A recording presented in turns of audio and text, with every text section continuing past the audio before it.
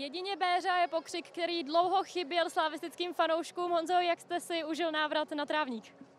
Krásně, byl jsem nervózní jako prase, pardon, a jediné, co mě zajímalo, tak aby jsme to zvládli jako mužstvo, to, to se podařilo, takže jsem za to vesmír, ves, nesmírně rád.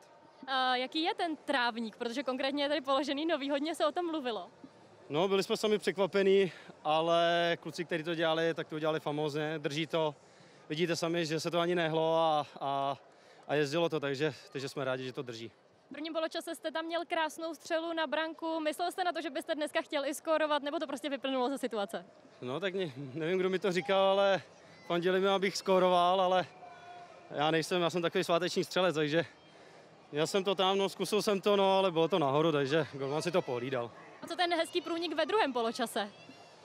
No já ani nevím, jak jsem se tam dostal, ale jsem, za, jsem za to rád, že jsem tam vůbec dostal a, a já říkám, jsem, jsem vůbec rád, že jsem mohl nastoupit po dvou letech a že jsme to zvládli. Jak vám bylo, když na hřiště vletěl ostravský rychlík Tanko? No tak něco jsem slychal, že je prej rychlej a tak jsem se na něj připravoval, jak já, tak i celý, celý mužstvo, ale dneska jsme se dobře všichni doplňovali, takže si myslím, že, že, ne, že nic neměli, jsme vymazali. Tak gratuluju a díky. Díky, naschle.